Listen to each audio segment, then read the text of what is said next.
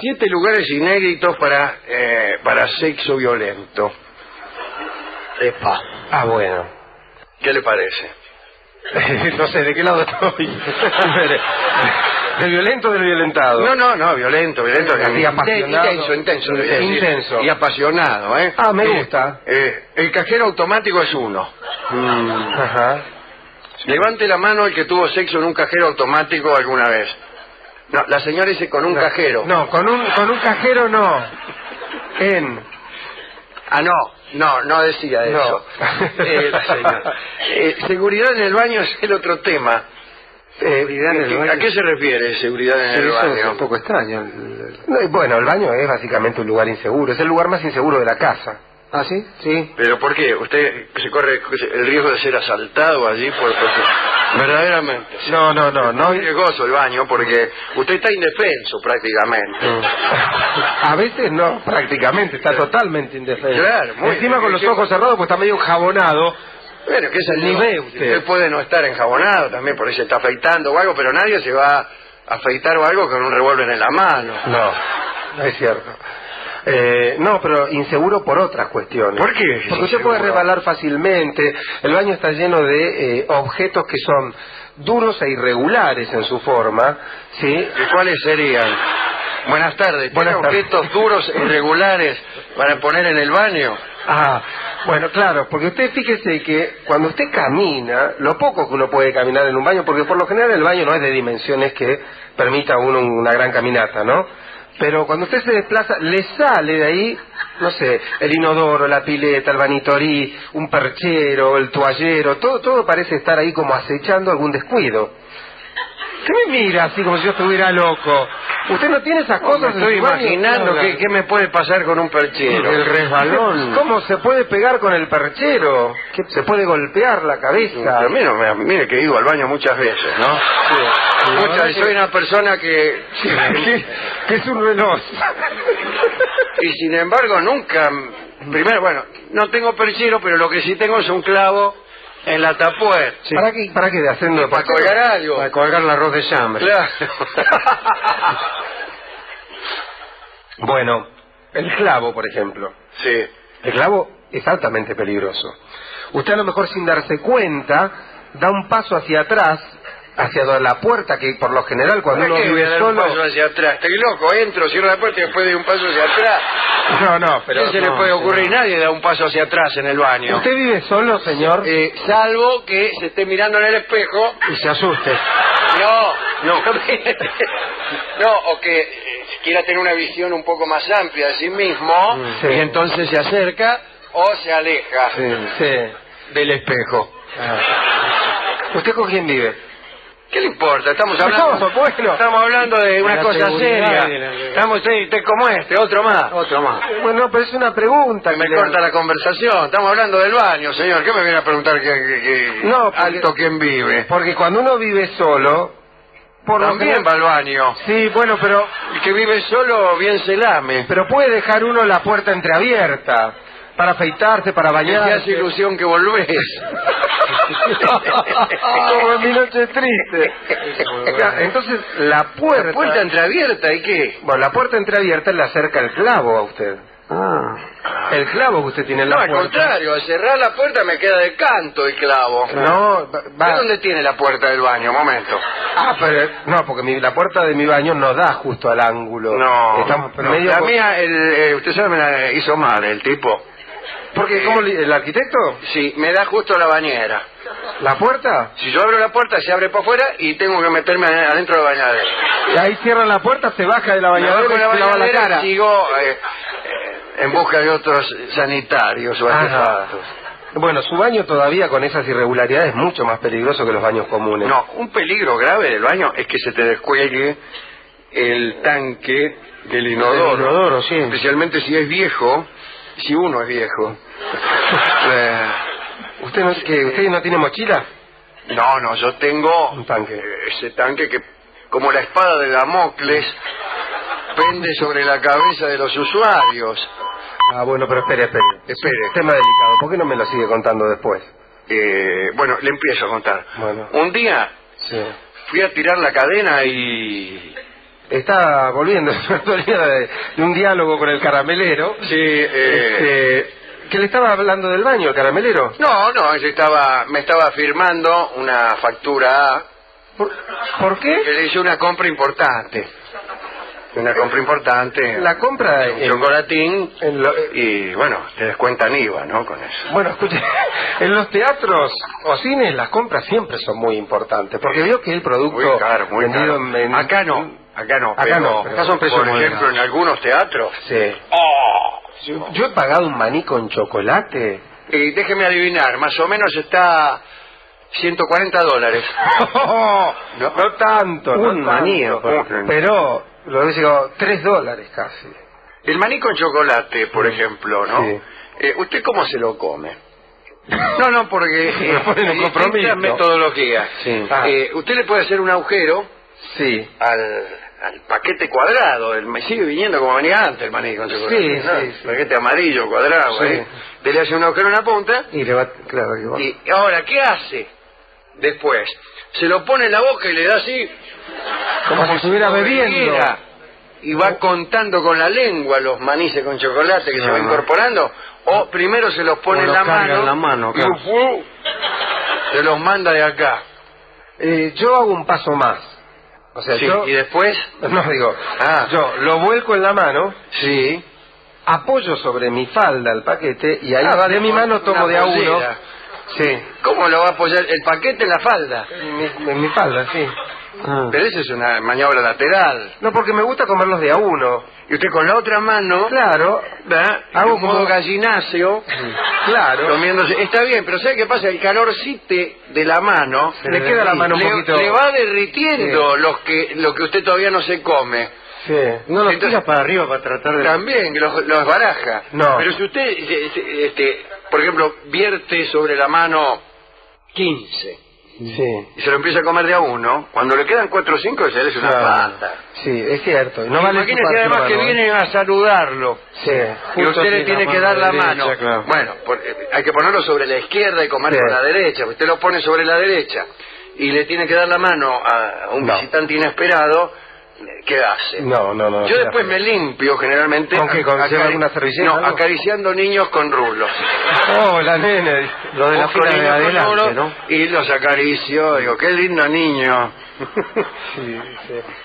Bueno, no, está bien, usted tiene razón que esa es una complicación extra, pero a mí no me gusta. Comerlo comer del paquete casa. tiene un inconveniente, que es cuando se acaba, se acaban y usted no quiere que se acaben. Entonces está eh, con una última esperanza, ¿no? Ya con la cabeza completamente hacia atrás, como un yesero, Y no baja nada, ¿no? y no baja nada. Usted golpea incluso el traste del paquete, Por decirlo de algún modo. claro, para ver si, si le da un, un maní más. Pero no. Había una marca que tenían, eh, inclusive cuando la cajita estaba vacía, tenían sonido cuando usted soplaba. ¿Ah, sí? ¿Se acuerda? Usted no, nunca... Nosotros con la caja de chicle hacían eso. Las cajas de chicle. Ah, pero no. un. Eso era una canchereada, no es que venía fabricado así. No, las, no, ca- no. las cajas de chicles Adams. Sí. Hacía. Hacía. Y uno se comía todos los chicles y después se divertía sonido, con eso. Y las, y las cajas de chicle tenían una solapita con un número. Mm, es cierto, sí. Ah, no me acuerdo. Un número que jamás hubo ninguna publicidad que dijera esto ni nada. Pero se corría así. Pero se bola, corría la bolilla de que había un número y efectivamente, la solapita, una solapita de 3 milímetros Sí. de... Había que mirarlo con lupa, sí. Y tenía un número cualquiera. Mm. Generalmente, creo no, generalmente no. Número de del 0 al 100 sería, Sí. o 99. Y alguien echó a correr la bolilla de que había que juntarlos y completar de 1 al 100 y que si le completabas, no sé... Regalaron una caja. No, ¿Le daban no, premio no, era peor, era una obra de bien que le regalaban, no sé, pulmotores a un hospital. Una buena idea de marketing, digamos. Claro, pero nadie la certificaba. No, nadie. No, yo esto, a la persona más seria que le oí decir esto, era, yo, un bicicletero de caseros. Ajá. ¿Y usted la juntaba? Pero yo la junté, pero perdí la paciencia, porque Eh, ¿cu- ¿Cuántas juntó? tres.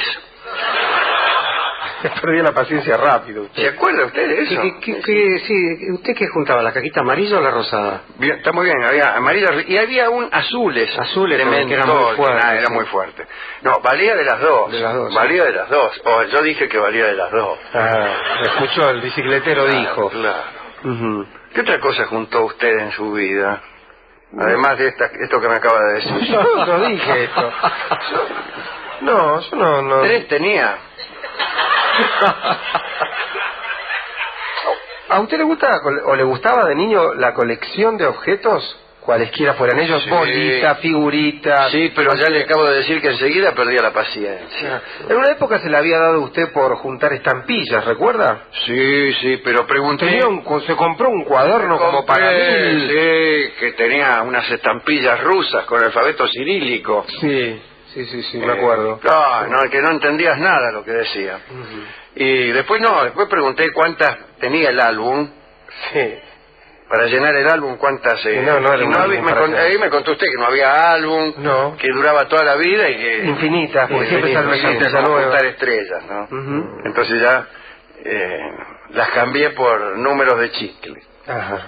Bueno, pero discúlpeme, yo lo había dejado usted en el baño Sí. eh, juntando estampillas. Estamos con este informe de seguridad en el baño que preparó el equipo de producción de, de este programa. ¿no? Hemos recorrido numerosísimos baños y hemos comprobado, como dijo Rolón, que la mayoría de los accidentes se producen por ensartarse uno en el clavo que puso en la puerta para colgar el sobre todo. Eh, no. Esto es lo que dijo usted. No, recién. yo no dije. Lo acaba de decir. Acaba de decir Antes del noticiero estaba porfiándome a mí que le decía que no. Sí. Y ahora que le admití que sí, ahora usted dice que no. Sí, señor. Todo el mundo en el baño, ¿qué le pasa? Da un paso atrás y se ensarta un clavo que había puesto en la pared para colgar algo. Seguro. Dije que ese es uno de los riesgos, no dije que todo el mundo le pasa. A todo el mundo le pasa. no todo el mundo tiene ¿A un quién no clavo. le puede pasar? A mí no me puede pasar, porque yo no tengo clavo en la ¿Y, puerta. y dónde cuelga los calzoncillos? En el piso lo pone. ¿Cómo? Y después lo levanta con el dedo. ¿Con los dedos de la pata? Perdón. El dedo de los pies, claro. Per- per- perdóneme, ¿no? Que me meta en una incidencia, pero bueno, usted con su comentario me ha abierto la puerta para esto. ¿Quién es? Ocupado. Eh, dígame, usted, los calzoncillos, Sí. ¿los lava mientras se baña? En general sí, sí. sí. No siempre que me baño lavo los calzoncillos. ¿Cómo que no? A veces no, a ¿Por veces qué? sí, porque a veces no, A veces porque no. corresponde. Que tiene más, usted dice que lo usa más, dura más que más de un baño un calzoncillo a veces, en su caso. Son cosas mías. Ajá. Pero sí, sí, es la mejor manera. Incluso, Y las medias también, Las ¿no? medias, Las medias y ¿sabe los que conviene dejárselas puestas. ¿Se baña con las medias puestas usted? Claro, entonces usted la... eh, Se apotea. Claro, chapotea en el, en el jaboncito Sí. Y se le lavan las medias. Y medio hace un- unos pasos de cha-cha-cha o de Vio que, twist. vio- vio que a veces con el agua caliente se destiñen un poco y va quedando como un... ¿Eso es lo que queda o es suciedad? Hay suciedad a lo mejor, sí. Eso dice muy lo puede violenta, distinguir. Yo te digo, me destiñen, me destiñen estas medias. Ajá. Pero puede ser que sea suciedad. Puede ser que sea sí. Bueno, Eh. pero eso que usted hace, por ejemplo, es muy peligroso. ¿Por qué? Y porque danzar en la bañadera, la bañadera es el lugar más rebaladizo del hogar. O A no ser que usted tenga esas... ¿Usted tiene una... ¿Tiene flores antideslizantes? Sí, ¿cuántas le envuelvo? Porque usted ve que yo tengo una flor grande Ajá. y unas florecillas un poco más pequeñas Más que van a los costados. Mm. Claro. La grande va justo en el medio. en el medio y alrededor las chiquitas, sí. Claro. Y eso evita que usted se resbale. ¿Sí? Si no, hay, hay algunos... ¿Y agarraderas? ¿No es mejor una Sí, agarradera? Está muy bien. Pero si usted se agarra, si usted se pone en la bañadera y queda agarrado cuatro manos, ¿con qué se jabona? Claro.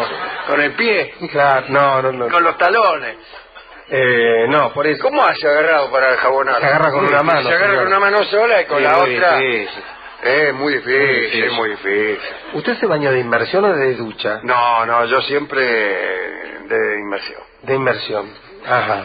O de ducha, según.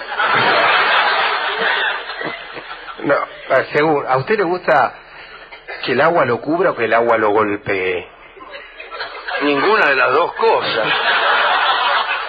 Yo me baño hasta la cintura, ponerle en el de Pero en inversión. un baño de inversión hasta la Claro, cintura no me voy a- centímetros de agua. No me voy a meter abajo del agua. Sí. Mirá si me ahogo. ¿Cómo se va a ahogar, hombre? Yo no, eh, yo no, no, no, no sé meterme abajo del agua sin que el agua ingrese en las fosas nasales. Entonces tengo, me han regalado mi sobrino, ¿no es cierto?, que son muy deportistas, una escafandra. Una escafandra. Eh, Con, pa- con snorkel. Exactamente, para respirar abajo del agua, ¿no es Mm, cierto? ajá. Entonces yo me sumerjo enteramente para enjuagarme incluso, ¿no es cierto? Sí. Y- ¿Qué otra cosa? Y yo eh, estoy seguro de que no me voy a ahogar. Respiro, me quedo ahí y emerjo, me saco la, la escafandra, me peino para atrás.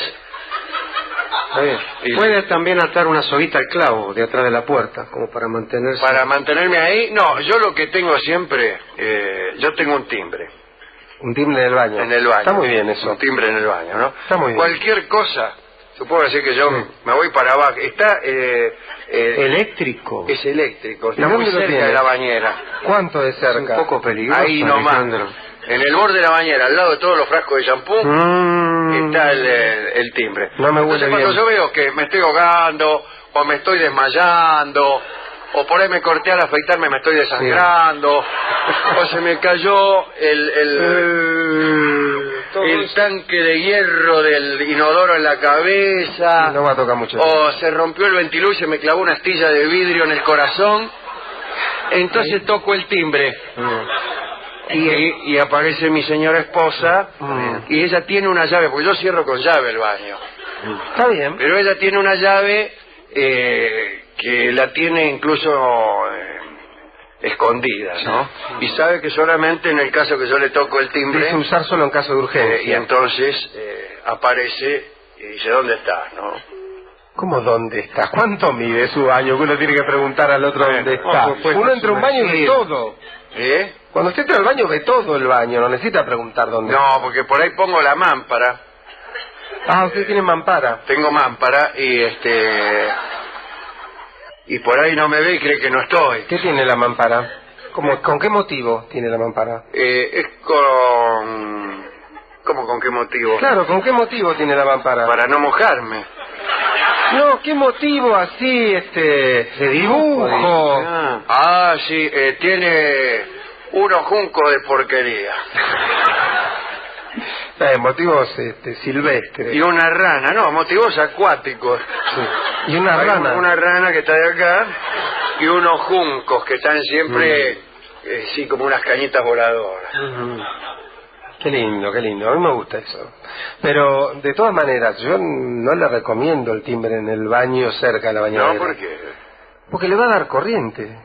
Es muy sencillo. Usted tiene algo eléctrico al lado de Menos algo mal que nunca tuve esa clase de accidentes. Pero yo le iba a contar lo que puede pasar con el tanque de las casas viejas que pesan, bueno, 120, 130 kilos. Sí, de hierro son. Es de hierro colgado arriba del inodoro a gran altura, como son las del... eh, Y para que el agua baje con fuerza. Para que baje con fuerza. La casa vieja el agua baja de 20 y 30 metros de altura. Eh. Y te, te levanta y te arrastra el inodoro también.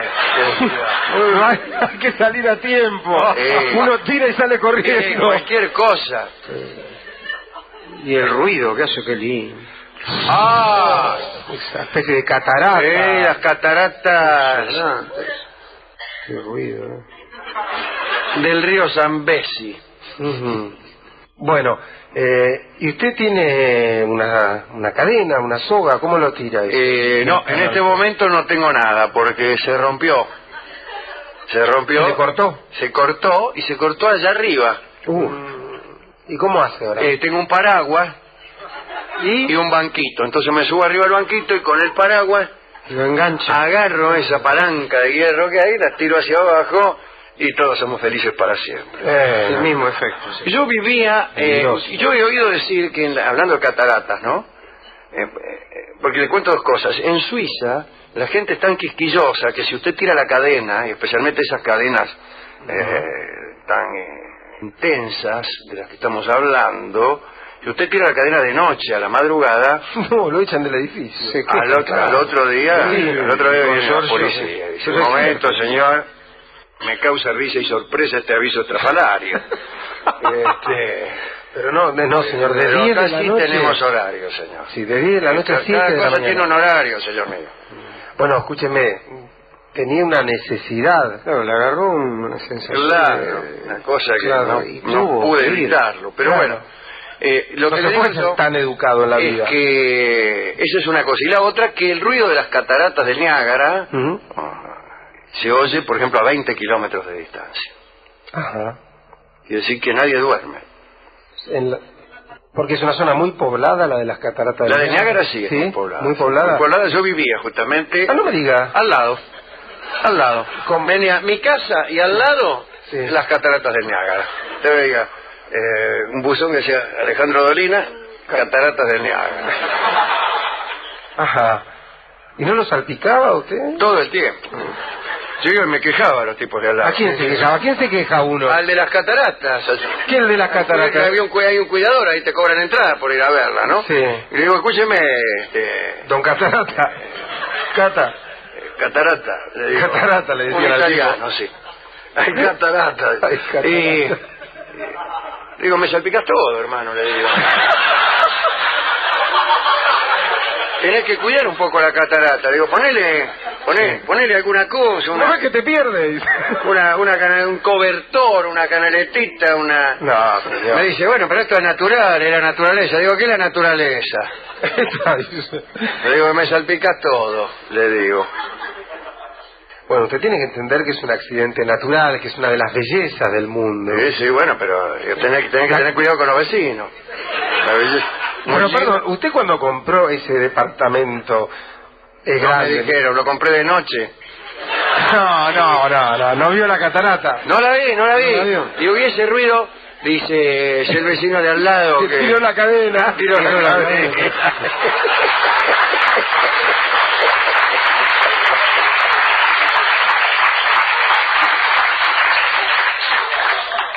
Bueno, y perdón, Sí. grande el departamento que compró, por lo menos cómodo. Eh, sí, sí, lindo, no, no sé, un lindo no, departamento. no, eh. Bueno, porque por ahí usted puede disfrutar de esa belleza. Yo, eh, Escúcheme. me me había el ventiluz de la cocina, Sí. me daba las cataratas del Niágara.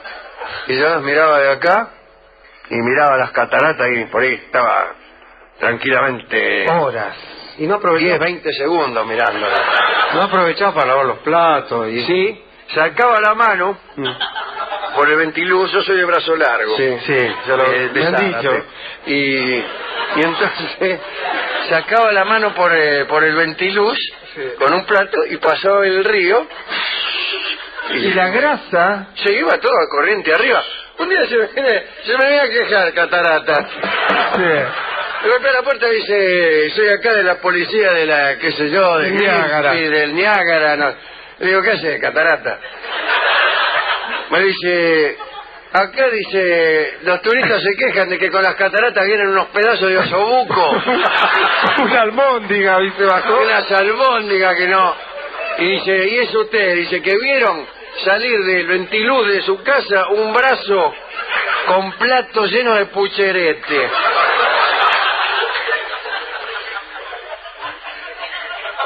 Y usted negó todo. No, yo dije. Con el brazo mojado y todavía. yo con, el- con un brazo eh, tenía un- una manga remangada y otra no. Chorreante. el Y dice. ¿por qué? Dice el tipo, tiene una mano remangada y otra no. Le digo, me fui a vacunar.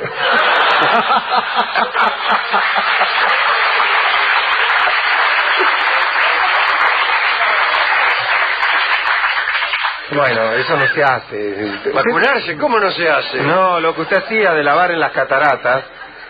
Además, ¿Cómo no van a saber cómo se arranca todo? La... Ah, me sacaba hasta las calcomanías de los platos. Perdóneme. Pero esto hay que reconocerlo. Podrá ser molesto el ruido, tendrá humedad en su casa, todo lo que Sí, quiera. sí. Pero usted cuando invite una, una dama ¡Oh, lindo! la saca a la vereda, le abre la ventana. Ah, yo la ponía arriba de las chapas, digo, vamos a ver. Casa de chapa tenía. Le digo, ahora te voy a mostrar las cataratas, mirá, le digo. Oh, Sentí. qué manera de caer el agua, dice la mente, ¿no? Ajá. ¿Es cierto que usted le prestó la casa a Marilyn Monroe cuando filmó la película Niagara? Exactamente, Niagara con se Joseph Catem. Sí, y ahí se, se cambió, ¿no? Eh, ¿En su casa? se cambiaba en casa. Ajá, sí, sí. Pues le quedaba cerca, claro. Eh, sí, vio que los actores eh, cuando van a hacer una película, ponerle en la selva o algo, Sí. se cambian en la casa de algún vecino. Claro, sí. Van a hacer una película en el África, Mm. Sí. ahí en, en la selva, qué sé yo, siempre le piden permiso a uno. Tarzán, déjame Eh, cambiar. claro, déjeme cambiar acá, porque ellos van, el que hace de Tarzán, por ejemplo, va de traje y corbata. Sí, Johnny Y después los calzoncillos se los tiene que cambiar antes. Me dice, me deja poner los calzoncillos acá. Y ahí se cambió Marilyn. Ajá. Eh, sí. Me dice, un momentito, y yo me voy a cambiar acá. Mm. Eh, Era linda, verdaderamente. Eh, ¿Usted la vio cuando se estaba cambiando? yo la vi. Mm, Era linda. Era linda, ¿no? Eh, pero le digo, el cine eh, es, todo retoque. ¿Sí? Es todo retoque. No, no me diga, Todo eh. retoque. ¿Ah, sí? Todo retoque. La gente, los actores, Marilyn sí, pero todos los de ahora Sí. se hacen retocar, me dijeron. Sí, sí. Eh, hay Bueno, un ahora con la computadora, va el tipo y dice, a ver, dice, Por ahí uno actuó mal. córrame, lo córrame el ojo derecho, levántemelo un poquito, dice. A ver, dice, póngame un poquito más de López, Mm. Sí. de acá. Todo, todo, Todo. Todas esas personas hermosas que usted vi, Sí. que usted vi, no, que usted vio. Sí. ¿Son todas retocadas? No leí mal. Sí, es todo retoque. Por ejemplo, Leonardo DiCaprio, dice usted. Leonardo DiCaprio Sí. lo dibujan. Aquí es virtual. Es un, es un tano pelado, como su nombre lo indica. Leonardo DiCaprio. Parecido a Catarata. Este, ¿En serio me dice? Sí, pero claro, un retoque acá, que más rubio, que Sí, qué sé yo, y le quedó Leonardo de... Acá, Sí. est- esta actriz Aranceles González. Araceli, ¿qué aranceles? ¿Cómo no es Aranceles? No, Araceli. Araceli, ¿dónde vio alguien que se llama Aranceles? Y si hay quien se llama Araceli, ¿por qué no se van a poder llamar Araceli? Pero es muy bonita Araceli. ¿Y qué Sí. está retocada? ¿Le, le parece bonita a usted? No me Yo estaba enamorado de ella, ¿no? Sí. Y un día este, le escribo una carta. Digo, señorita Aranceles González, eh, yo soy uno que si la agarro, Me va a acordar de las cataratas. la hago barro. Firmado la agarro, la hago barro. un, un ¡Qué poeta! Eh, y entonces voy ahí a donde trabaja ella. ¿Qué Ajá. canal trabaja? Eh, el 13, ¿no? Bueno, el 13 golpeé la puerta y digo, mira, este es para Aranceles González. Y, Va, Polka. y el tipo, me tenía el tipo en la puerta y dice, ¿por qué? ¿Por qué eso esto es? Le digo, porque estoy enamorado de ella. No, si usted, porque estaba la foto de ella en la puerta, ¿vio? Arancele González. No, le digo, mire qué linda. No, dice, yo le digo que trabajo acá, me dice el tipo. Yo la veo antes de que la retoquen. Y dice, no vale nada. No vale Iba a decir nada. una barbaridad.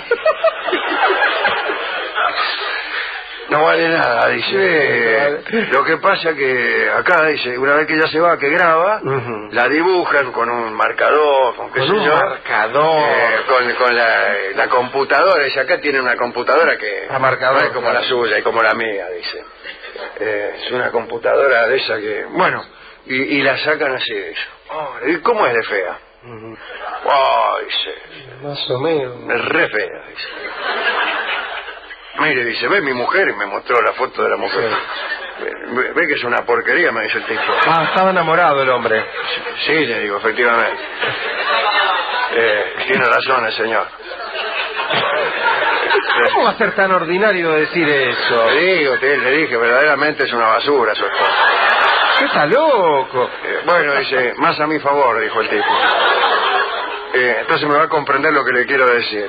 Así dice es Aranceles González, pero viene aquí, Igualita mi mujer. eh, viene aquí y la retocan de arriba abajo y usted la ve en su casa y se enamora y le escribe cartas como esta. ¿Y si sabe cuántas cartas como esta llegan todos los días? Millones. Eh, no, ninguna. Porque la gente ya sabe que las actrices de la televisión son todas retocadas. No puede ser. Me fui- Hay algunas que son Sí, bellísimas. se Me fui a mi casa, me encerré, Uh, qué depresión. me encerré en el baño. Sí. A llorar. No, eh, a ver si podía arreglar la cadena, porque se me descolgó.